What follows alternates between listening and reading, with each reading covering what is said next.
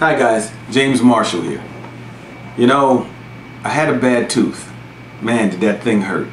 And I'm a big baby when it comes to going to the dentist. I went on my iPhone and I found 7 o'clock dental. And I'm so glad that I did. I called up right away.